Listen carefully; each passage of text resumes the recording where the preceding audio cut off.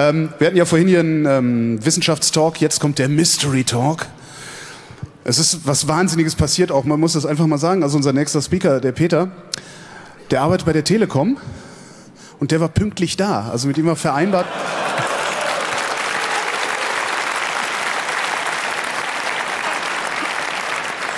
Der Techniker ist nicht nur informiert. Er ist auch anwesend und er ist informiert und wird, eure, wird die Informationen weitergeben. Ich hatte so ein bisschen die Hoffnung, dass ich heute mitgeteilt bekommen könnte, woher das kommt, dass ich immer nur Edge habe. Er sagte, ich soll einfach zu seinem Unternehmen wechseln, dann wäre das besser. Er weiß, wo er arbeitet. Äh, tatsächlich, tatsächlich geht es aber äh, um die Sachen, die wir im Telefon nicht sehen. Also wir sehen normalerweise auf unserem Screen im Telefon so zwei Balken, drei Balken, LTE, keine Daten kommen an und wundern uns wie blöde. Peter Schmidt kann erklären, warum wir uns wie blöde wundern. Es liegt nämlich nicht an den drei Balken, sondern an was ganz anderem. Bitteschön.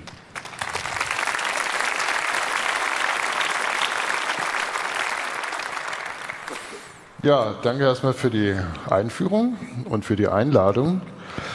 Äh, mein Talk geht über den Mobilfunk und hier insbesondere um, den, um die Luftschnittstelle und davon wiederum der physikalische Layer und von dem physikalischen Layer insbesondere der Uplink, also der Weg vom Mobiltelefon zur Basisstation.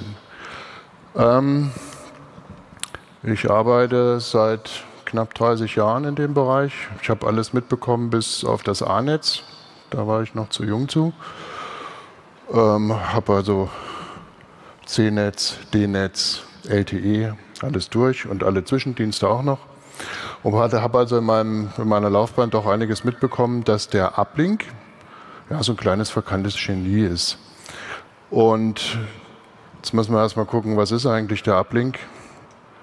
Ähm, der Uplink bezeichnet letztendlich den Weg von der, Basis, von dem Mobilteil zur Basisstation.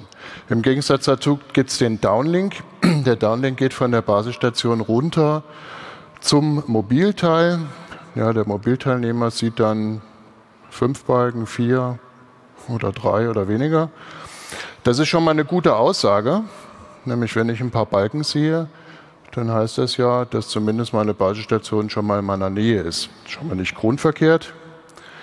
Ähm, jetzt muss allerdings dann das Endgerät auch noch irgendwie zurück zu der Basisstation. Und das Ganze nennt man Uplink. In unseren Frequenzbereichen, die wir hier in Deutschland und in Europa haben, sind in den meisten Fällen diese beiden Bereiche frequenzmäßig getrennt.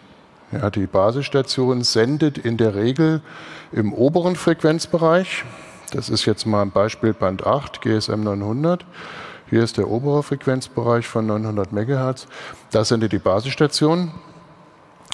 Ähm, und in dem unteren Bereich, der Frequenzbereich, also wir haben ein Unterband, ein Oberband oder heutzutage auch Uplink und Downlink genannt, der Praktikabilität halber, äh, da sendet das Endgerät. Wir haben also, wenn wir von einem Kanal sprechen, bei GSM zumindest korrespondierende Kanäle, bei LTE haben die dann wieder andere Kanalnummern, weil dort Uplink und Downlink die beiden Frequenzen äh, variabel sind. Die sind also nicht so fest wie bei ehemals GSM 900, dass der Kanal 1 den Kanal, sorry, der ist hier, der erste Vodafone-Kanal beschreibt im Downlink und gleichzeitig den ersten Kanal im Uplink, der hier an dieser Stelle liegt. Ähm, wir haben natürlich noch ein paar mehr Frequenzbereiche kann man sich bei der Bundesnetzagentur runterladen. Ähm, da sind noch nicht die Frequenzen dabei, die nächstes Jahr für 5G verstärkt werden, sondern das sind die, die aus den aktuellen äh, gelaufenen Auktionen gültig sind. Ähm, das sind sehr viele. Ja, 700 MHz ist das erste, 800 MHz, das ist äh, so der ursprüngliche LTE-Frequenzbereich, äh, wo man mit LTE angefangen hat der 900 MHz Bereich, wo klassisch GSM drauf lief, dann ein Band 32, 1,5 GHz, dem fehlt der Uplink. 1,5 GHz gibt es nur einen Downlink-Kanal. Das hat einen Grund. nicht, ne, weil man ähm, den Netzbetreiber und die User damit ärgern möchte, sondern äh, man muss sich vorstellen, dass ein Endgerät, so ein Smartphone, ja nicht nur Telefonie kann oder Daten kann, also diese ganzen Bänder unterstützt, sondern auch GPS-Empfänger und andere Sachen noch hat. Und ähm, wenn ich in diesem 1,5 Gigahertz Band senden würde bei dem kleinen Endgerät, dann würde das den integrierten GPS-Empfänger auf jeden Fall stören, weil der liegt bei 1,5 ein bisschen was und bei 1,7 glaube ich. Deswegen gibt es da keinen kein Uplink, also das Endgerät kann dort nicht senden. Äh, dieser Frequenzbereich ist nur nutzbar mit Carrier Aggregation, wenn ich also eine bestehende Verbindung auf einem anderen Frequenzband habe dann kann das dann, dieses 1500er Band dazugenommen werden, um die Downlink-Raten zu erhöhen. Dann haben wir die alten 1800er, 2 GHz, das ist eigentlich UMTS in Deutschland, der Frequenzbereich, der vorwiegend für UMTS benutzt wird noch. 2,4 äh, und 3,5 GHz Band 22. Ähm, wer sich dafür interessiert, kann sich das bei der Bundesnetzagentur runterladen. Jetzt haben wir erstmal ein kleineres Problem. Die Symmetrie, Uplink-Downlink-Symmetrie. Mobilfunk ist kein Broadcast-Dienst, also wir machen keinen Rundfunk am Fernsehsender. Ja, die können ja mit 5 kW laufen oder 10 oder 500. Das ist nicht weiter schlimm. Äh, bei uns müssen wir eben darauf aufpassen, dass wir nur so viel Leistung auch abstrahlen, dass das Endgerät nämlich wieder zurückkommt. Und das Endgerät macht keine 5000 Watt. Ja, das macht nämlich erheblich weniger, vielleicht ein Watt. Dennoch haben wir eine kleine Diskrepanz. Wir haben eine Basisstation, die sendet in der Regel mit, ich nehme jetzt mal als Beispiel GSM, für andere Frequenzen oder andere Dienste ist das analog, aber mit GSM, so ein Kanal kann man sehr schön rechnen. Ähm, der sendet man normalerweise so mit 10 Watt Top of Cabinet aus. Dann kommt eine Kabeldämpfung dazu, Antennengewinn, kommen wir gleich zu. Und das Endgerät hat dann eine, eine Empfängerempfindlichkeit etwa von minus 100 dBm. Ähm, kann allerdings jetzt gar nicht mit 10 Watt zurücksenden, weil so einen starken Sender hat das Ding gar nicht, sondern sendet allenfalls vielleicht mit einem Watt ja, und diese, diese Differenz muss ich jetzt irgendwo auffangen. Die muss ich ähm, kompensieren. Ich muss ja hinkriegen, dass die Symmetrie gegeben ist. Und das tut man in der Regel mit einer erhöhten Empfängerempfindlichkeit am Ort der Basisstation. Ich habe das Bild gleich nochmal. Jetzt habe ich schon angefangen mit dB und dBm. Ähm, ich glaube, nicht jeder kann jetzt direkt was damit anfangen. Wir als Techniker reden gerne in dB und dBm, weil wir nämlich nicht nur mit Leistungen im greifbaren Bereich, ja so 10 Watt, 100 Watt, was zu tun haben, sondern auch mit extrem kleinen Leistungen. Halt an den Empfängern der Basisstationen liegen ganz, ganz kleine Signale an. Und wenn ich die dann mit, mit Femtowatt oder Attowatt beschreiben würde, dann könnte sich keiner so richtig die Dimensionen vorstellen. Äh, deswegen reden wir sehr gerne in dBm. Das M dahinter bedeutet, wir haben eine Leistung, die sich auf ein Milliwatt bezieht. Ja, ein Milliwatt, ich nehme jetzt den Laserpointer. Ein Milliwatt sind 0 dBm. Das Zehnfache von einem Milliwatt sind 10 dBm äh, oder 10 Milliwatt. Das Hundertfache, die 2 ist also die Zahl der Nullen, sind dann 100 Milliwatt. Das Tausendfache hier das äh, 10.000-fache, das 100.000-fache von einem Milliwatt. Und das Ganze geht auch im negativen Bereich. Ja, ein Zehntel, ein Hundertstel, ein Tausendstel, ein Zehntausendstel und so weiter. Äh, das dBm, ganz wichtig, beschreibt immer eine Leistung, die etwas warm macht. Ja, jetzt, wenn ich 200 Watt auf einen Abschlusswiderstand gebe, dann merke ich das schon, dass das warm wird. Wenn ich das Ganze, das Ganze tue mit einem Femtowatt, dann wird er jetzt auch ein bisschen warm ein klitzekleines bisschen. Ja, aber es ist dennoch eine Leistung. Ähm, das dB ist jetzt was Relatives. Ja, wenn ich jetzt zum Beispiel einen Verstärker baue, der 3 dB Verstärkung hat, ja, dann würde der 1 Watt zum Beispiel auf 2 Watt ähm, verstärken oder würde 10 Watt auf 20 Watt verstärken, wenn er es kann. Ja, das Ganze geht auch negativ, ein 3 dB Dämpfungsglied. Ja, dämpft halt um die Hälfte ab. Ähm, und dann haben wir noch diese so größere, ups, so größere Sprünge, ähm, 50 dB oder 100 dB. Und diese Werte, die werden wir gleich nochmal benutzen, indem wir jetzt dieses Funkfeld uns nochmal anschauen. das wir eben gerade hatten. Und das wird jetzt noch ein bisschen komplizierter. Wir haben eine Basisstation, die hat 10 Watt Top of Cabinet, dann kommt eine Kabeldämpfung dazu. Je nachdem, wo, die, wo das Radio hängt, als Remote oder nicht. Ich habe da mal so 2 dB angenommen. Dann kommt der Antennengewinn dazu. Äh, der Antennengewinn, der führt dazu, dass ich nachher eine effektiv radiated Power habe, effektiv abgestrahlte Leistung, ERP.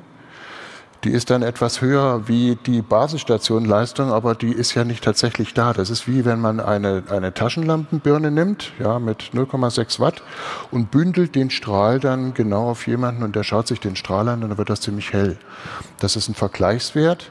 Also so ein Antennengewinn bei uns würde dann, oder Mobilfunk würde dann heißen, ähm, für den Kunden sieht das aus wie 400 Watt, wenn ein Isotopenstrahler da hängen würde. Also wenn es ein Kugelstrahler wäre, ist aber keiner. Letztendlich kommen aus der Antenne tatsächlich nur 2 dB Kabeldämpfung, also weniger als 10 Watt kommen da tatsächlich raus. So, dann habe ich eine Funkfelddämpfung, 156 dB, schaffen wir so bei GSM maximal. Ähm, das sind, wenn man es ausrechnet, äh, etwa so 1000 Kilometer. Geht jetzt schon mal nicht mit GSM, weil ab etwa 30 Kilometer da schlägt die Laufzeit zu. Und das Endgerät sendet jetzt quasi zurück über denselben Funkweg mit 156 dB Funkfelddämpfung über die gleiche Antenne mit dem gleichen Antennengewinn ähm, zurück, auch durch das Kabel runter zu der Basisstation und kommt dann damit, wenn es halt mit ein Zehntel der Leistung sendet, auch mit einem, ja, um Faktor 10 schwächer an der Basisstation an. Die Basisstation kann das empfangen weil wir haben am Ort der Basisstation haben wir elektrischen Strom. Wir können dort aufwendigere Empfänger bauen. Ja, so ein Empfänger in einem Smartphone, der hat eher die Aufgabe, dass er keinen Strom braucht und möglichst klein ist. Also diese, diesen Zwang haben wir an der Basisstation nicht. Und außerdem haben wir an der Basisstation seit GSM mindestens zwei Antennen. Das sogenannte RX Diversity. Wir empfangen also das Endgerät über zwei Antennen und damit kann ich zum Beispiel unterschiedliche Laufzeiten ausgleichen. Ähm, das Ganze geht dann über Vorverstärker, Mischer, äh, Filter, softwaredefiniertes Radio, Demodulation in eine, in eine Post-Processing rein. Wie gehe ich jetzt mit diesen beiden Signalen um, die von diesem Endgerät kommen oder, oder die ich mit meinen beiden Antennen äh, empfange? Da gibt es letztendlich so ganz vom Groben her zwei Möglichkeiten. Entweder also in dem Post-Processing mache ich dann einen Umschalter, der dann auf den Pfad umschaltet, wo das Endgerät ähm, noch am besten zu hören ist. Da muss natürlich jemand diesen Schalter betätigen, eine Software.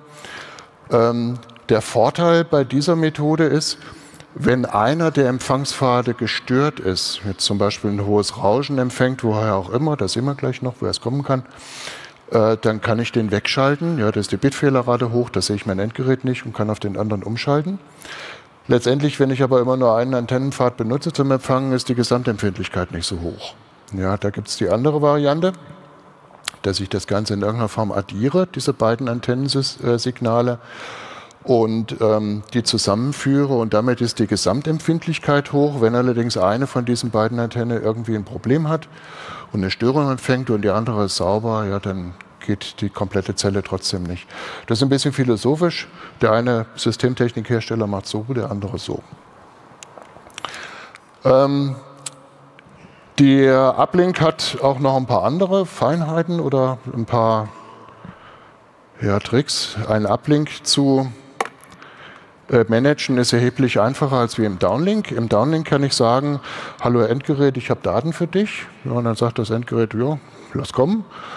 Und dann fließen die Daten. Ja, ich muss, der Node B weiß selber, was er, oder der BTS weiß selber, welche Ressourcen sie hat und kann die dann quasi einfach belegen, muss nur dem Endgerät sagen, wo es zu hören hat. Das kann durchaus gleichzeitig passieren. Ja.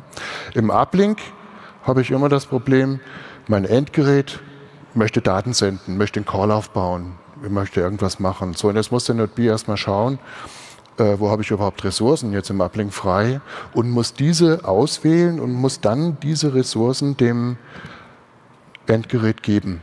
Ja, der sagt also, liebes Endgerät, bitte benutze die und die Ressourcen, die und die Frequenzen für die und die Dauer ja, oder ich äh, sage dir äh, in zyklischen Abständen, wie die Ressourcen zu ändern ist, sind. Äh, wenn das Endgerät dann plötzlich mehr Daten hat oder früher fertig ist mit seinen Daten, dann muss es das auch wieder signalisieren. Also das Handling der, der Uplink-Ressourcen ist bedeutend aufwendiger als wie, ähm, der, der, als wie im Downlink. Gut, zur Abwechslung, bevor wir jetzt ähm, auf die Störquellen kommen, ein paar Antennen von innen. Erstmal von außen. Es gibt da verschiedene Antennentypen, die wir mit Mobilfunk benutzen. Das sind ähm, ja, diese alte Heugabelanordnung mit Rundstrahlantennen.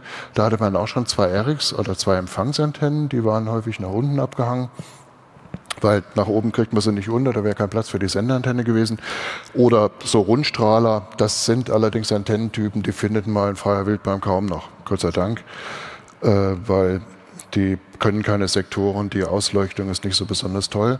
Man benutzt heutzutage Felderantennen und diese Felderantennen haben dann auch in einem Gehäuse mindestens zwei Antennen äh, eingebaut. Heute sind das dann auch für mehrere Frequenzen mehrere. Äh, und diese beiden Antennentypen oder diese beiden Antennen in diesen Feldern, die sind über Kreuz ähm, polarisiert. Man macht also RX Diversity nicht mehr über ein Raum Diversity mit zwei Antennen, die an verschiedenen Positionen stehen, sondern man macht ein Diversity äh, über die Polarisationsebene. Wenn auf dieser Polarisationsebene noch was ankommt, dann brauche ich auf, auf, der, auf der anderen nichts mehr zu hören. Ähm, Blick von innen ist so eine Antenne, sieht man normalerweise, wenn sie draußen hängt, nur mit dem Gehäuse drumherum. Es ist viel drin, ja, so Antennenelemente und Kabel auf der Rückseite. Das ist eine Multibandantenne, eine Dualbandantenne. Äh, diese Kästen, die da dran sind, das sind Phasenschieber, denn so eine Antenne, die soll ja nicht nur, ähm, dieser Kasten hier, die soll ja nicht nur äh, die, die, das Funkfeld ausleuchten, sondern ich möchte die als Netzbetreiber in Zukunft dann vielleicht auch lastabhängig absenken. Das wäre so wie äh, vorstellbar wie im Auto, wenn ich den, das Rädelchen vom, vom Abblendlicht drehe, ja, dann geht es hoch oder runter. Genauso kann man sich auch so eine Ausleuchtung von so einer Funkzelle vorstellen. Man muss euch einfach vorstellen, ihr nehmt euer Auto mit aufs Dach, macht das Licht an, ja, und das, was hell ist, das funkt, und wo es dunkel ist, geht es nicht mehr. Also geht es schlechter. Jetzt ist Licht natürlich von der Frequenz erheblich höher und ist viel besser fokussierbar. Aber das ist so eine Antenne von innen, also es äh, ist ein Haufen, ein Haufen Zeug drin. Ähm, die modernsten Antennen, die haben dann halt ganz viele Anschlüsse für die ganzen Frequenzbänder. Äh, man möchte halt auch die Windlast und das, was am Mast äh, aufgebaut wird, möglichst gering halten und deswegen benutzt man da Antennen mit der Möglichkeit, dass ich dort möglichst viele Frequenzbänder unterkriege. Gut, wenn ich jetzt die Zellgrößen betrachte, was wir sehen am Endgerät, sehen wir die Downlink-Zellgröße. Ja, die hat eine gewisse, eine gewisse Ausleuchtung, das sieht der Kunde an den Balken. Ja, da habe ich zu Anfang schon erwähnt, wenn Balken da, dann ist das schon mal grundsätzlich nicht schlecht.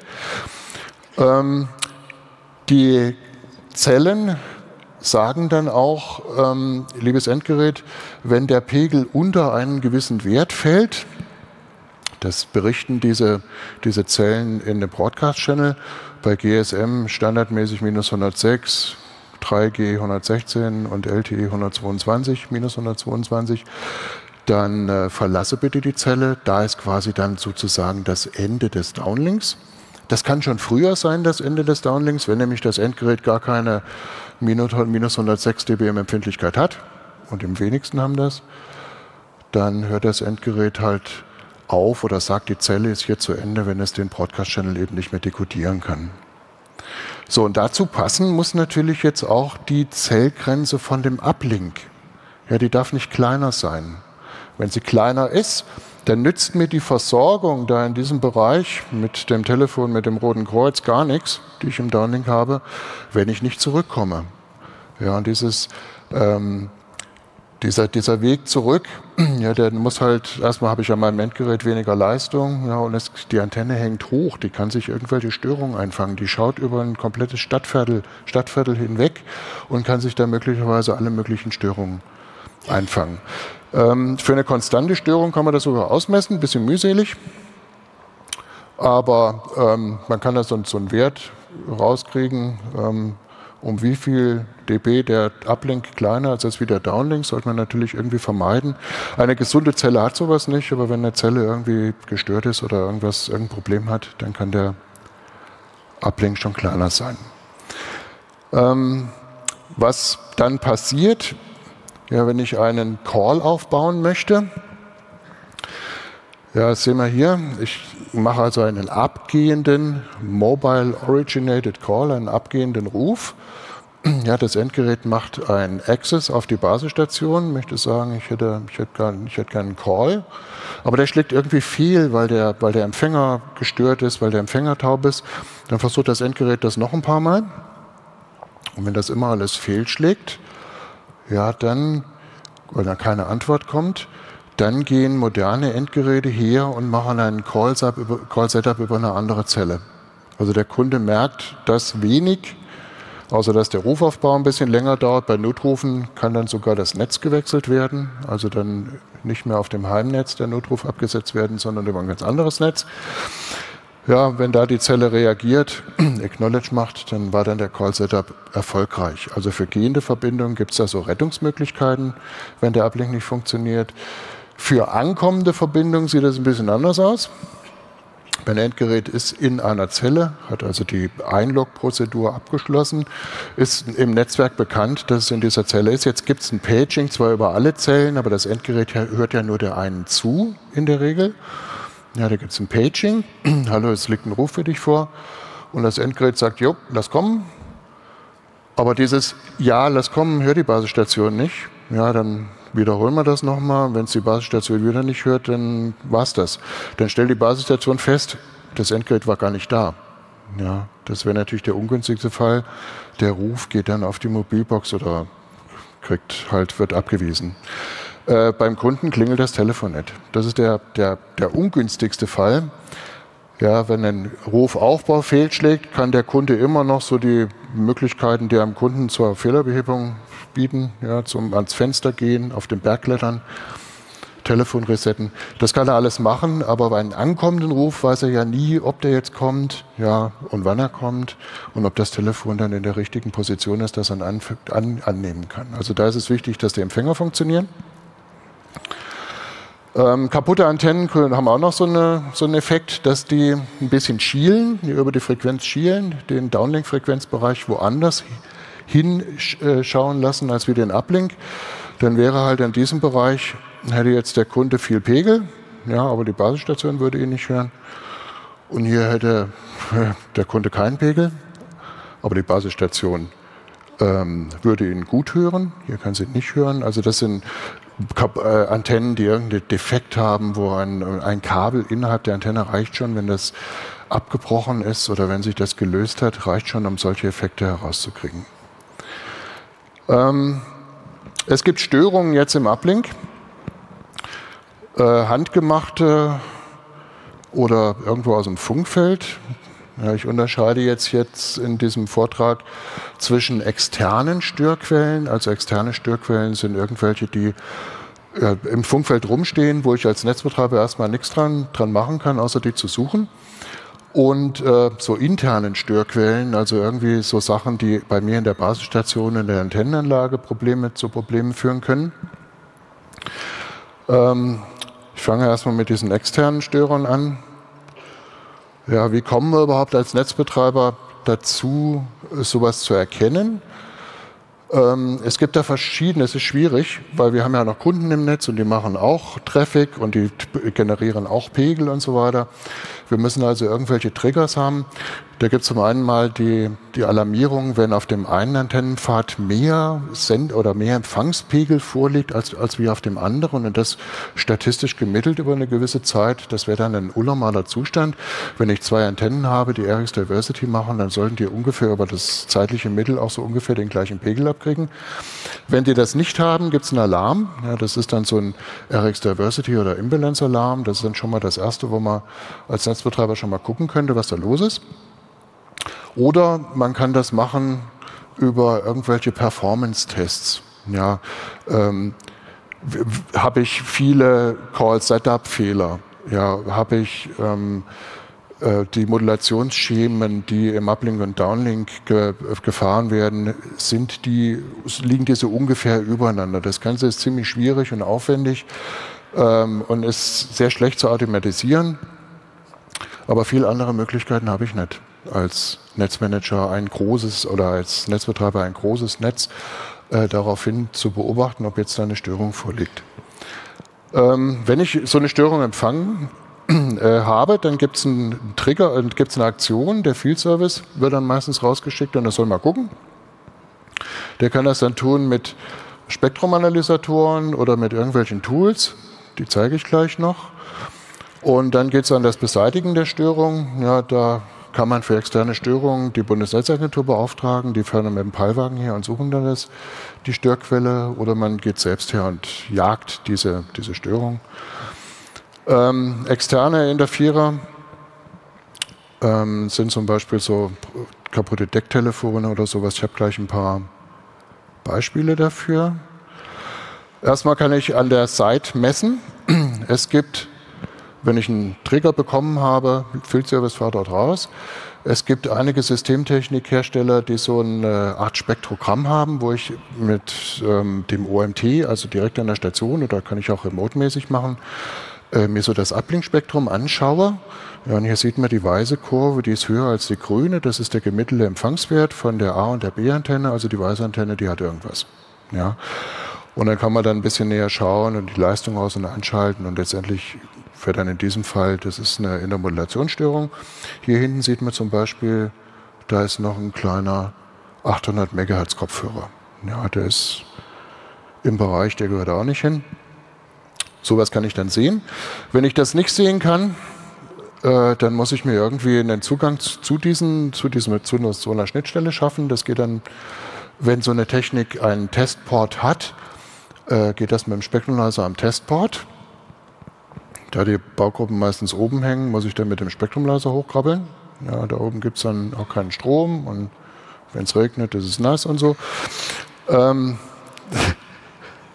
ja, oder wenn ich eine Baugruppe habe, die keinen so einen Testanschluss hat, dann kann man sich so einen Filter mitnehmen, kann das in die Antennenleitung einschleifen. Das braucht natürlich dann auch wieder Strom, da ist ein Verstärker drin und der Speckigstrom und ähm, so drei Tage mal nach einem Störer da oben suchen, das ist, das ist nicht so ganz möglich. Ähm, als weitere Methode gibt es für Techniken, die unterstützt werden, die RF over Opsei Methode. Ich habe äh, zwischen dem Remote Head vom Radio, was oben am Turm hängt, und dem Systemmodul unten an der, am Boden, habe ich eine Glasfaser. Und auf dieser Glasfaser läuft nicht irgendein IP, sondern da läuft das Cypre oder Opsei-Protokoll und dieses dient dazu, ähm, einen, ein Frequenzband, was von dem Frequenz in den Zeitbereich transformiert wurde, über, die, über eine Fast-Fourier-Transformation zu transportieren. Ähm, und wenn ich dann mich auf die Glasfaser aufstecke und ich da also so, eine, so einen optischen Splitter hineintue, dann kann ich mir ein bisschen Informationen aus der von oben nach unten gehenden Faser herausholen. Und wenn ich das gemacht habe, dann kann mir ein Messgerät diese Sachen noch anzeigen. Das sieht dann ungefähr so aus. Ich sehe dann natürlich nur den Frequenzbereich und die Antenne, die ich dann aus diesem Datenstrom herausgewählt habe. Ähm, das ist so das angenehmste, was man so machen kann. Man muss allerdings dafür, weil ich ja den Splitter einbauen muss, muss man die Zelle kurz außer Betrieb nehmen. Das ist dann für den Kunden nicht so schön, aber die läuft dann nachher wieder. Ähm, ein paar Quellen, so aus dem richtigen Leben, ja, das ist im GSM 900 Bereich. Was man da sieht, ist ein Wasserfalldiagramm. Ähm, dieses Wasserfalldiagramm zeigt so eine Spektrumanalyse wie hier unten äh, nachher als Historie. Ja, wo blau ist, ist halt das Wasser tief oder das Rauschen niedrig. Und wo es halt gelb und rot wird, sind die Pegel hoch. Ja, das kann man sehr gut sehen. Ähm, eine, solche Analysen äh, ab, über Ablinkstörer ohne ein Wasserfalldiagramm sind heutzutage sehr, sehr schwierig, weil die wenigsten Störungen sehen so aus wie die. Ja, also kontinuierlicher Träger mit einem kontinuierlichen Videosignal. Ähm, das war dann so ein Videobabyphone, die eigentlich normalerweise für den amerikanischen Markt gebaut sind. Die Dinger sind übrigens extrem stark, ja, die gehen 30 Kilometer weit. Mein überzeugendes Argument zwecks zur Abschaltung bei den Kunden ähm, ist dann immer, jeder, der so ein Gerät hat, kann dann auch durchaus sehen, was äh, infrarot beleuchtet im Schlafzimmer abgeht. Ja, die laufen ja 24 Stunden. Was immer ein Argument war, sowas dann eben nicht mehr zu benutzen. Hat bisher immer funktioniert. Ähm, was auch eine Störung ist, sind irgendwelche aktiven Antennen. Ja, aktive DVB-T-Antennen. Äh, wenn die halt gut in der Sonne stehen und schön heiß werden, dann fangen die plötzlich an, so einen wunderschönen Träger zu produzieren, ähm, der dann über das Frequenzband wandert und ähm, ja, je nachdem, wie die Sonne steht, dann mal bei dem Mobilfunkbereich vorbeischaut oder eben nicht. Auch eine Störung sind ver verirrte äh, Deckbasisstationen. Ja, heutzutage bauen ja, äh, binden ja viele Leute ihre Deckbasis, ihre Deckt-Handhelds an irgendwelche anderen Basisstationen und benutzen dann halt diese Ladeschale, die ja eigentlich noch einen Decksender beinhalten, nur zum Laden. Und ähm, wenn die dann halt ein bisschen kränklich sind, dann meinen sie, dass sie irgendwo in, einem ganz anderen, in einer ganz anderen IAU-Region wären, also da, wo sie geboren wurden in der Regel. Und das passt dann eben nicht so ganz mit unseren Frequenzbereichen und die treffen wir dann im UMTS-Bereich sehr häufig wieder an. Vodafone hat da sehr viel Spaß mit. Wir jetzt nicht so. Ja, man kann sie gut sehen. Also sie haben einen wunderschönen Fingerprint. Ja, äh, wenn man im Zero-Span-Modus sich das Ding anschaut, dann kommt er alle 0,1 Millisekunden kommt ein Burst und dann kann man von ausgehen, ich suche entdeckt. Ja, das sehe ich sofort schon, wenn ich, äh, braucht man gar nicht an den Turm zu fahren, sondern kann dann sich gleich auf die Suche nach dem Deck machen. Das ist übrigens relativ einfach, die Dinger sind ziemlich stark. Ähm, was ein bisschen schwieriger ist, sind so APs, irgendwelche Wi-Fi, Access Points, die entweder Nebenaussendungen machen oder sich im Land geirrt haben. Ähm, deswegen, ja, die machen halt nicht so ein schönes Signal, sondern man sieht eben dort Pulse. Das ist ein OFDM-Signal und das macht sich dann im Wasserfalldiagramm häufig so als so eine Treppe bemerkbar und dann kann ich schon sehen, das gehört hier nicht hin. Und wenn ich dann auch wieder ein Zero-Span mache, ich gehe also auf das Signal, schalte den Span von irgendwas auf Null um, dann habe ich eine zeitliche Darstellung, dann erkenne ich die, dass die alle 50 oder 100, 100 Millisekunden pulsen und dann weiß ich, ah, ich suche irgendwas mit Wi-Fi zu tun hat. Oder auch sehr gern genommen, ähm, vergessene Hausantennenverstärker. Freundlicherweise machen die wieder einen schönen Träger, ja, der allerdings häufig auch verrauscht ist. Und weil die Dinger ja dann freischwingen, ist ein Verstärker, Oszillation, äh, die wandern auch halt über die Frequenz. Ähm, das heißt, die sind möglicherweise heute da und morgen sind sie dann irgendwo anders hingewandert. Aber die gibt es relativ häufig. Ja, die Leute sind immer ganz verwundert, wenn ich dann sage, da oben, da muss ich hin. Und die wundern sich dann, ach, guck, da ist er, ganz vergessen. Genau. Ähm, das letzte, was ich hatte, war so ein drahtloser Telefon, ist ein drahtloser Kopfhörer. Die sind ja etwas oberhalb vom LT800 MHz Bereich normalerweise. Und wenn die anfangen zu spinnen, dann machen die hier so ein so ein übles, übles Spektrum, was dann leider Gottes eben den Ablink der Basisstation so beeinflusst und dieses Spektrum hat dazu geführt, dass die Voice-Qualität in LTE gehend, also der Funkteilnehmer merkt davon selber nichts, sondern die andere Seite, dass die halt ziemlich mies war. Ja. Ähm, noch was, so eine Kamera, es gibt Kameras mit äh, irgendeiner Anbindung, kann auch Wi-Fi gewesen sein, die rauschen, was das Zeug hält. Ja, und da hinten, da steht der Turm, Line of Sight, der guckt, wo ist mein Punkt? Der guckt da genau äh, auf diese Kameras drauf. Ja, schalten wir jetzt so 20 Kameras an der Tankstelle ab, ja, wo die ihre Sicherheit drauf aufbauen. Äh, was ich auch mal hatte, waren Testsender, die von irgendeinem Subunternehmer hingestellt wurden. Da kann man, wenn man die richtigen Frequenzbereiche benutzt, dann so eine Versorgungsmessung mitmachen, ist durchaus okay. Wenn ich die allerdings dann in den Uplink-Bereich hineinstelle ja, und die Frequenzen äh, senden im Uplink und da ist dann die Basisstationsantenne, dann ist der Empfänger etwas übersteuert. Also man kann schon mal einiges erleben. Jetzt kommen wir zu, dem, zu einem etwas kritischen Kapitel.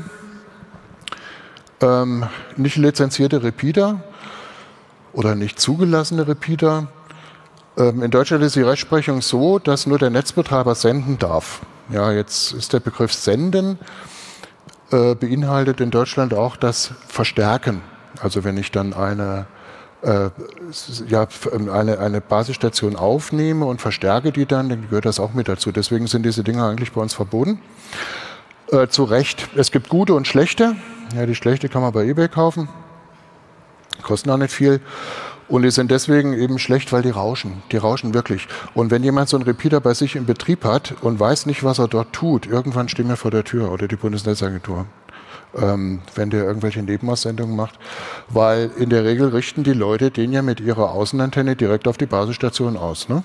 Und das ist dann schon mal genau getroffen.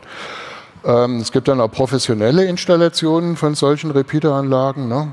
Hier so zwei Antennen, MIMO-mäßig, gucken direkt auf ein Blech. War auch am Schwingen das Ding. Ähm, man könnte jetzt sagen, ähm, passive Repeater, ja, da mache ich nichts falsch, stimmt. Kann man bauen, habe ich mal ausgerechnet. Ähm, wenn ich also so einen normalen, relativ guten Empfang außen habe und möchte dann im Keller vielleicht noch irgendeine Versorgung hinbringen, ja, dann geht das schon, aber ich darf mich mit meinem Endgerät nicht allzu weit von meiner Kellerantenne entfernen. Ja, so einen Meter und danach wird es schwierig, weil ich habe zweimal die Funkfelddämpfung drin. Ähm, in dem Foliensatz ist hinten im Anhang noch so eine Funkfeldberechnung drin.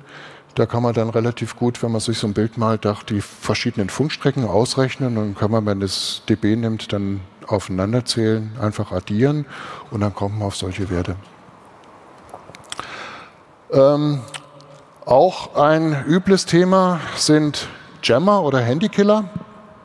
Normalerweise soll ja ein Handykiller, Handykiller im Downlink stören, also der soll die Downlink-Signale einer Basisstation stören, sodass die Endgeräte, die sich jetzt in der Nähe befinden, kein Netz mehr finden, also die, die Broadcast-Channel nicht mehr dekodieren können. Leider Gottes sind diese Dinger in der Regel nicht so teuer, sodass die halt ähm, nicht so scharfe Filter drin haben. Das heißt, die gehen auch runter in den Uplink. Ja, die hört man dort auch ganz gut. Und so ein Jammer ist durchaus ziemlich stark und die Netzbetreiber kriegen das mit, ähm, wenn der im Uplink stört. Das ist dann für den Betreiber des Jammers nicht so besonders schön, weil das ist dann gleich vom Staatsanwalt. Wenn die Bundesnetzagentur da ist, dann kostet das äh, 1500 Euro, ist mein letzter Stand, einfach für, die, für den Einsatz der Bundesnetzagentur und den Rest entscheidet ein Staatsanwalt. Also vorsichtig damit, kann man auch gut kaufen. Ja, gibt es Handykiller, bei einigen Webseiten, ich habe mal so ein bisschen gegoogelt, steht da noch nicht mehr dabei, dass man die eigentlich nicht betreiben dürfte, sollte. Ja, bei einigen steht es dabei. Ähm, ich würde also von dem Betrieb von solchen Handykillern abraten. Ja, also insbesondere, wenn man dann eine, eine Gegend trifft, wo also auch noch Publikum raus, draußen rumläuft. Im Keller unten, wenn ähm, ich einen abgeschirmten Keller habe, kann ich im Prinzip machen, was ich will, aber so, wenn ich dann irgendwelchen öffentlichen Grund betrete, damit störe, dann ist es nicht so gut. So, Interferenzsuche. Wie komme ich jetzt auf die Interferenz hin, wenn ich irgendwie festgestellt habe, da ist ein Störer drauf? Ich sollte mir irgendwie schon mal eine Vorstellung machen, wo jetzt eigentlich meine Störquelle sitzen kann. Das ist ganz gut, wenn man zur Antenne hochgeht und mal so über die drüber peilt, ja, wo könnte jetzt die Störquelle sitzen, ähm, damit man schon eine Vorstellung davon hat. Ähm, ich persönlich fahre dann mit, einem, mit einer Rundstrahlantenne oder mit, einem Rund, äh, mit einer omnidirektional empfangenden Antenne durch die Gegend, das ist die kleine. Die empfängt dann nicht nur horizontal, sondern die empfängt auch ein bisschen was, wenn ich durch einen Straßenzug durchfahre, auch aus den oberen Stockwerken. Und erst dann, wenn ich die Störquelle gefunden habe, also mit so einem, mit dieser, mit dieser kleinen Antenne, dann gehe ich hier und gehe mit einer Richtantenne bei und suche, wo die Störquelle sitzt. Ähm, die Bundesnetzagentur macht das ein bisschen anders. Die hat auch ein paar bessere Mittel als ich. Ich habe einen Spektrumlaser und eine Antenne. Aber damit funktioniert das durchaus auch. Ja. Für den Hausgebrauch, ja, Spektrumlaseraturen sind relativ teuer. Kann man sich dann so einen RF-Analyzer mit so einem RTL-Chip bauen. Das ist so der kleinste Spektrumlaser, den ich zu Hause habe, wobei der von der Empfindlichkeit auch hm, entsprechend auch entsprechend klein ist, also ziemlich mies. Aber er funktioniert. Funktioniert allerdings auch nur so zwischen 70 und 70 MHz und 1,7 GHz, weil diese Sticks halt äh, nur dafür gebaut sind. Frederike hat da was gemacht vorgestern, war ein Talk über SDRs. Gut, ähm, für Ähm, an Rechner gibt es ein bisschen größere Sachen. Äh, ich benutze selber SDA Sharp oder AirSpy. Da sieht man dann bei LTE im Downlink sogar die, die einzelnen Subcarrier. Ähm, ja, oder halt andere Sachen. Ne? Ähm, Red Piata, HackRF und so weiter kann man alle dafür benutzen. Zum Teil könnt ihr auch senden. ähm, ich habe noch ein Thema passive Modulation. Ähm, beschäftige ich mich seit 25 Jahren mit. Passive Modulation ist eine quasi Störung, die nicht extern ist, sondern die in der Antennenanlage passiert und ist abhängig von der Leistung. Eine passive Modulation kommt daher zustande, dass wir heutzutage fast ausschließlich mit gemeinsamer Sendeempfangsantenne arbeiten. Also Mobilfunk geht im Downlink mit einer relativ hohen Leistung hoch in Richtung Antenne. Mit der gleichen Antenne, mit dem gleichen Kabel empfangen wir dann ähm, ganz schwache Mobilfunksignale. Und diese ganz schwachen Signale, ja, die sind halt durchaus 150 dB schwächer als wie mein Sendesignal. Ja, so 150 und mehr. Das ist eine Zahl mit 15 Nullen. Also die Differenz ist gewaltig. Und wenn sich dann durch diese Downlink-Leistung irgendwas im Antennenpfad bildet, ja, das gibt Mischung oder Corona-Effekt, eben durch solche vergammelten Stecker, gerissene Kabel und sowas, dann kann es dazu führen, dass ich meine, dass ich im Ablingen plötzlich ein Störsignal habe oder ganz viele Störsignale. Hier sieht man so die beiden, äh, das sind Mischungen, ja, die, die kann man ausrechnen, das sind diskrete Frequenzen, hier ist ein Mischprodukt und da ist ein Mischprodukt. Mit ablehnender Ordnung werden sie schwächer. Und was hier als breites Rauschen zu erkennen ist oder hier unten als breites Rauschen zu erkennen ist, das ist so eine Art Corona-Effekt. Da fehlt mir allerdings noch so ein bisschen die ähm, physikalische Erklärung dazu. Eine Mischung kann man relativ einfach erklären. Ja, man braucht eine, eine unlineare, einen unlinearen Widerstand, am besten eine Oxidschicht auf dem Stecker. Ja, das ist dann so ein unlinearer Widerstand, der hat eine spannungsabhängige ähm, Übertragungsfunktion und wenn sowas eine, Spannungsfunktion, äh, eine, eine verbogene Übertragungsfunktion hat, dann bilden sich damit quasi Oberwellen. Diese Oberwellen kann man gut ausrechnen oder Mischprodukte kann man gut ausrechnen. Äh, erstmal zwei Grundfrequenzen, Frequenz 1 und 2 und dann bilden sich dann dritte Ordnung, fünfte Ordnung, siebte Ordnung, können sich dann in der Modulationsprodukte bilden. Und die können sich zum teilweise sogar überlappen. ja, wenn unser LTE-Signal 20 MHz breit ist, werden die Intermodulationsprodukte natürlich auch 20 MHz mindestens breit. Ähm, ich habe bei GSM mal so, ein wunderschönes, äh, so einen wunderschönen Fall gemessen. Ja, hier befindet sich der Broadcast-Channel, da, und hier befindet sich ein Traffic-Channel auf der gleichen Antenne. Und wenn ich die beiden nehme, dann ist äquidistant nach unten das IM3 sehe ich jetzt nicht, weil es nicht durch den Empfangsfilter passt von der Basisstation, ist in der Basisstation gemessen. Hier habe ich das IM5, das IM7, das IM9, das sehe ich dann wieder bei mir in der Basisstation, das IM11, das IM13 und das IM15. Äh, da war ein Jumper kaputt, aber man kann das hervorragend sehen. Das ist ein Beispiel aus dem Lehrbuch für eine, für eine Mischung, ja, für so eine Intermodulation. Ähm, bei breiten Signalen, bei GSM geht das noch, der Kanal ist relativ schmal. Bei breiten Signalen werden natürlich die Mischprodukte dann noch viel, dann viel breiter. Man kann die kaum noch miteinander äh, voneinander unterscheiden. Das zweite ist der Corona-Effekt, also dieses Aufrauschen unten. Äh, da beobachte ich, dass dieses Rauschen besonders dann passiert, wenn ich gerissenes Kupfer habe, wenn ich scharfe Kanten und sowas in, äh, in meiner Antennenanlage drin habe oder Späne im Stecker oder Bauschaum in dem Stecker geht auch, so brandhemmender Bauschaum. An diesen scharfen Kanten bildet sich dann offenbar so eine Ionisation, wobei eine Ionisation, ja, wenn die Elektronen da von dem Elektron, von dem Atom wegfliegen und kommen wieder zurück, äh, das kann es eigentlich nicht sein, weil die ausgestrahlte Frequenz sind keine 900 MHz. Also es kann eigentlich nur was anderes sein oder ich, ich tippe auf eine Kernresonanz. Aber wenn da jemand Ahnung hat oder jemanden kennt, der Ahnung hat, kann gerne mit mir Kontakt aufnehmen, um dieses Phänomen nochmal zu erklären. Ja, das kann dann durchaus so aussehen, dass wir eben solche starken äh, äh, Rauscherhöhungen haben, wenn so eine Intermodulation auf LTE ist. Also diese Antenne, die empfängt außer ihrer eigenen Intermodulation kaum noch was. Gut, auf verschiedenen Frequenzbändern gibt es auch Intermodulationen. Ähm, wenn ich zum Beispiel das Telekom-Band nehme und schaue, wo die Emulationsprodukte bei 900 MHz hinfallen, ja, dann fallen hier die EM7s rein. Ja, ist okay, sind ein bisschen schwächer als wie die EM3. Wenn ich allerdings eine Multiprovider-Antennenanlage betrachte, ja, dann sieht das Ganze anders aus. Da haben wir dann Frequenzen ganz unten, Frequenzen ganz oben, die sich miteinander mischen können. Das heißt, hier die Netzbetreiber Telekom und Vodafone bei einer Multiprovider-Anlage, die kriegen die Emulationsprodukte der dritten Ordnung ab, die sind die stärksten. Ja.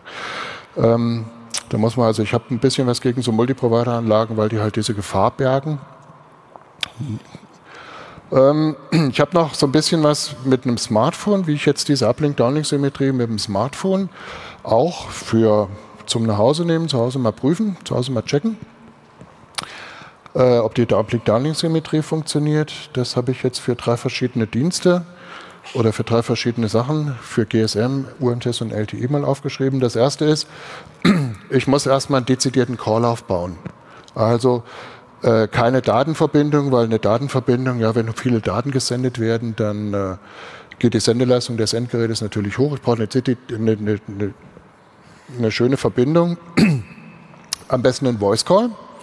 Und wenn ich den Voice Call aufgebaut habe, ja, dann kann ich bei GSM zum Beispiel in dem Monitor vom S7, also diesen Samsung-Geräten, kann ich hier einen Empfangspegel sehen, ja, und meine Sendeleistung. Und wenn ich diese beiden in, in, ins Verhältnis setze, dann kriege ich ungefähr raus, mit dem Empfänger ist es okay oder eher nicht.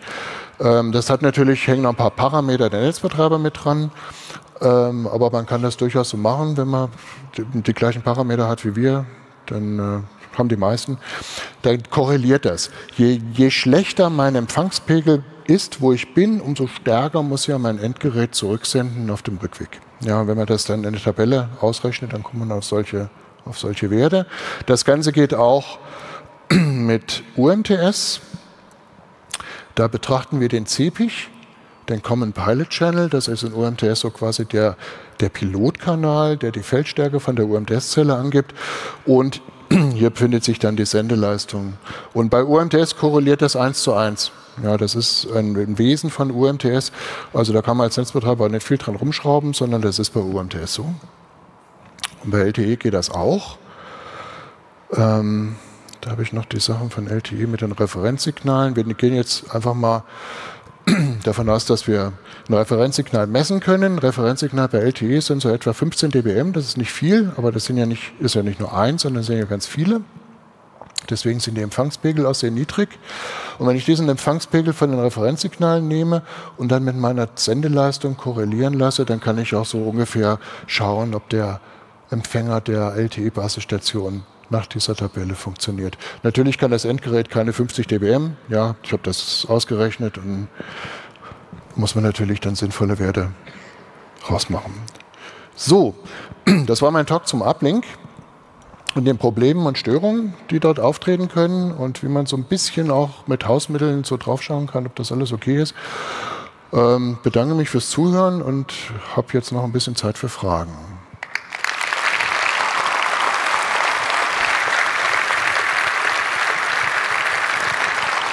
So, vielen Dank, Peter. Gibt es denn Fragen? Kann ich mal Saallicht haben für. Ach, dann fangen wir direkt mit Mikrofon 1 an, würde ich sagen. Ne? Ja, äh, sagen wir mal, ich habe jetzt rausgefunden über zum Beispiel diese App oder dieses, äh, ja, diese Analyse, die wir gerade gesehen haben, dass da was nicht stimmt. Wie melde ich das denn am besten? Weil der First Level Support mich meistens eher abwimmeln möchte mit, ja, dein Endgerät ist halt scheiße oder sowas. Ja, die gehen natürlich erstmal von den normalen Kundenproblemen aus, SIM-Karte kaputt und so weiter, Endgerät nicht eingeschaltet. Wenn man mit Ihr lacht. Wenn man mit genügend Informationen kommt und denen erklärt, ich habe dies und das festgestellt, dann geben die das auch an Field Service eher weiter. Okay. Und die 8 bitte da hinten. Ähm, habe ich das vorhin richtig verstanden, dass das Netz dem Telefon sagt, ab wann die Qualität nicht mal ausreichend ist und das Telefon das Netz, also die Zelle verlassen soll? Es und gibt ja fast. Es gibt ja ganz viele Sachen bei Mobilfunk, aber das Wichtigste, was ich eben vor, vorhin erzählt habe, war, die Zelle sagt, äh, du, wenn du mich mit dem Empfangspegel von zum Beispiel GSM minus 106 empfängst, dann ist es noch okay. Wenn du einen Empfangspegel von mir hast von minus 107, dann verlasse mich. Bedeutet das, das ist ein Parameter, der steht im Broadcast-Channel. Meines Erachtens sind diese Werte viel zu niedrig angesetzt, aber die sind europaweit so. Das sind Empfehlungen von den Systemtechnikherstellern. Was das die, war das die Frage? Ähm, bedeutet das, dass quasi das Netz bestimmt, ähm, wie viele Balken am Telefon angezeigt werden? Nein, nein, das okay. macht das Telefon selbst. ähm, die Balken, die generieren sich aus dem ASU-Wert und da macht jeder Endgerätehersteller so seine fast eigene. So, also der fünf Balken haben wir durchaus bis einen relativ schlechten Pegel, also bis etwa minus 80 dBm und dann geht das dann runter bis auf 1. Ähm, es gab früher bei GSM Basisstationen, die haben dann mit 50 Watt gesendet. Besonders an den Grenzen hat man die gerne eingesetzt, um die Rome zu fangen. Und da muss man natürlich darauf aufpassen, dass dann die Endgeräte auch nicht jetzt bis ganz hinten, bis die Zelle ganz schlecht ist, weil dann kommen sie im Leben nicht mehr zurück, sondern da hat man diese Einbuchgrenzwerte erhöht. Die standen auf minus 98 dBm oder sowas, um das zu kompensieren. Und das hat dann dazu geführt, dass der Kunde zwei Balken hatte. Ja, und dann nach den zwei Balken war dann gleich null. Wir haben eine Frage aus dem Netz. Ich, äh, sind euch schon mal IMSI-Catcher aufgefallen, beziehungsweise kann man diese aufspüren? Äh, ich habe noch keinen aufgespürt. Handykiller, Jammer, die von, der, von den Behörden für Sicherheit aufgestellt wurden, schon, ja. Aber im Catcher noch nicht. Die kann man auch schlecht sehen, die machen keine Ablenkstörungen. Mikro 7 bitte. Hi, ähm, was für Befugnisse hast du, äh, die Störquellen abzuschalten, gerade wenn sie im Privathaushalt irgendwie zu finden sind? Äh, ich persönlich als äh, Mitglied eines Netzbetreibers habe gar keine Befugnisse. Ich kann freundlich klingeln und sagen, bei Ihnen im Dachgeschoss, da ist wahrscheinlich ein Verstärker, der nicht läuft und dann können die Leute mich reinlassen oder nicht. Meistens, meine Erfahrung ist, sie lassen mich rein, sind sehr freundlich in der Regel, erstaunlicherweise. Dankeschön auch allen bisher Besuchten. Ähm, weil die meisten Leute wissen gar nicht, was, was, was da vorgeht, dass sie überhaupt so einen Teil haben und dass das Störungen machen könnte. Ähm, da, wo ich nicht reinkomme oder wo es schwierig wird, das ist ein Anruf bei der Bundesnetzagentur und je nach Schwerefall stehen die dann innerhalb von ein paar Stunden da, zur Not auch mit der Kripo.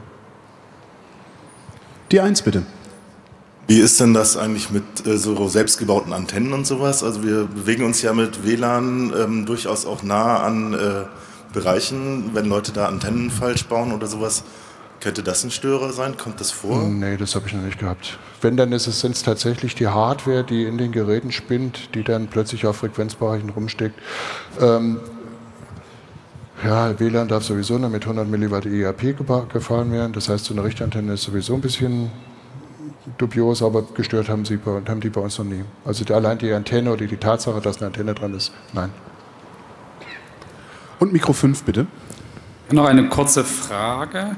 Ähm, wir haben Bilder gesehen, so mit 8, 12 so Antennen dran. Da sind vielleicht nochmal 3, 4, 5 drin. Ähm, was ich bis heute nicht verstanden habe, wie viele aktive Verbindungen kann man damit fahren? Also wird dann eine Subantenne mehrfach verwendet oder wie kann man sich das vorstellen? Man hat ja dann teilweise Tausende von Leuten, die da drin hängen. Wie viele Verbindungen kann ich fahren? Äh, eine gute LTE-Zelle schafft durchaus 100 gleichzeitige Datenverbindungen, nahezu unendlich viele passive Endgeräte, ja, nicht unendlich viel, aber eine sehr hohe Zahl. Also wenn wir jetzt alle hier im Raum sitzen und machen keinen Traffic, dann sind wir ja quasi nur ein Datensatz, mehr nicht.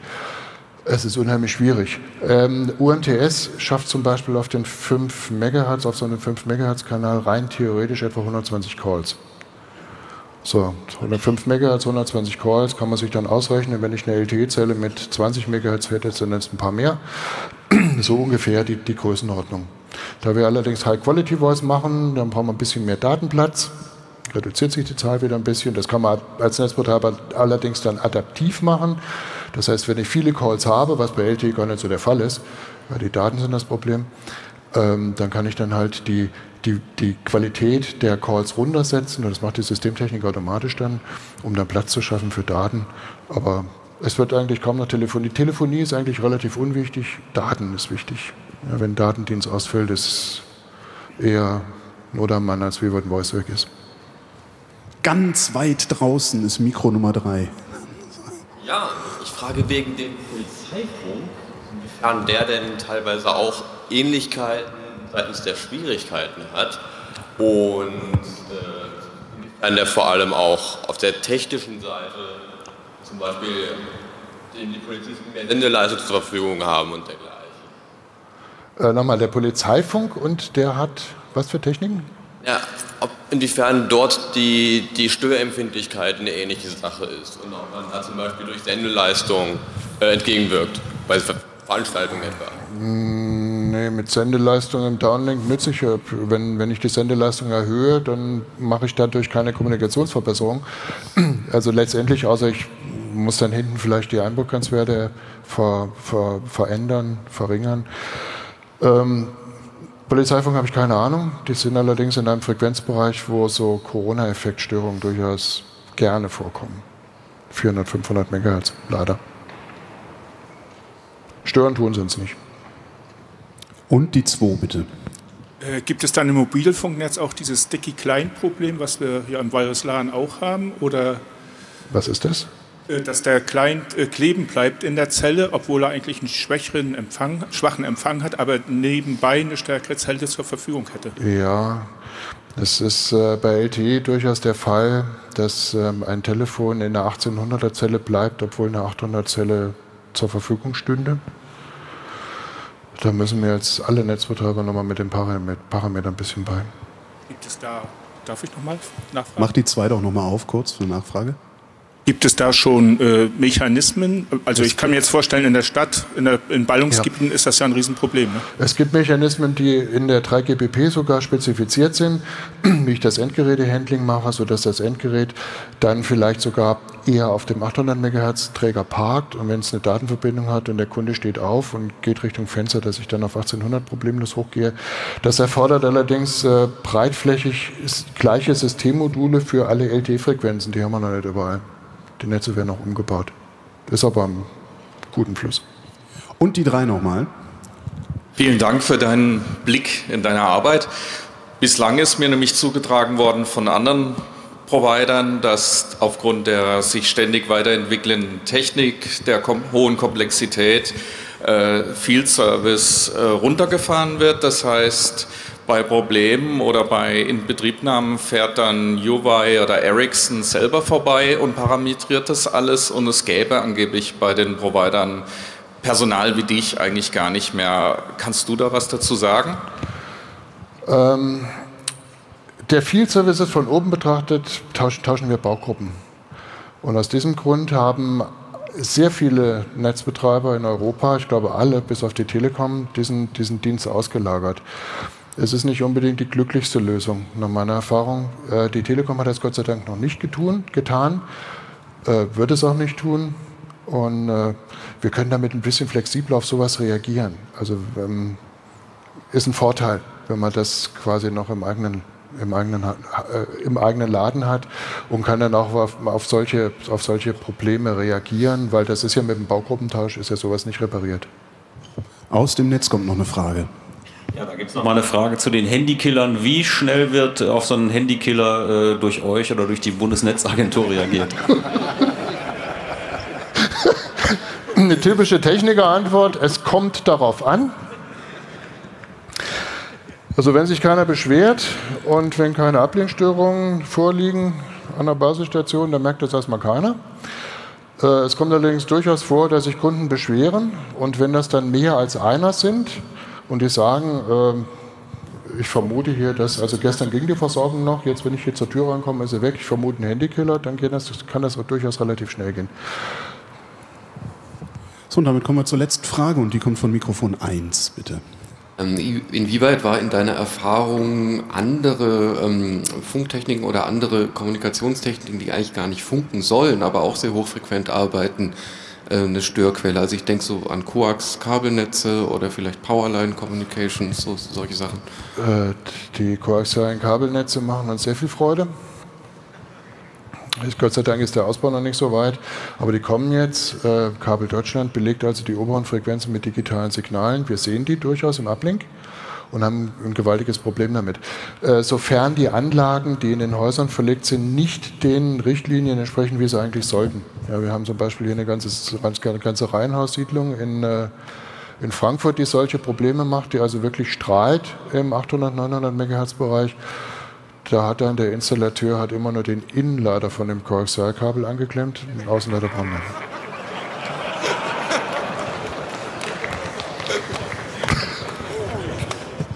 Ja, ja das, das war ein schönes Schlusswort. Peter Schmidt, vielen Dank.